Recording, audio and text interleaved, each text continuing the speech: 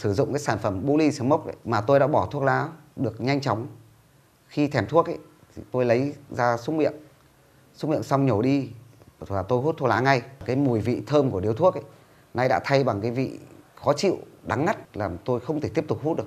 Bully Smoke giúp tôi cắt cơn thèm thuốc rất tốt. Bỏ thuốc xong thì tôi thấy khỏe hẳn, ngủ ngon giấc hơn, da rẻ cũng đẹp hơn.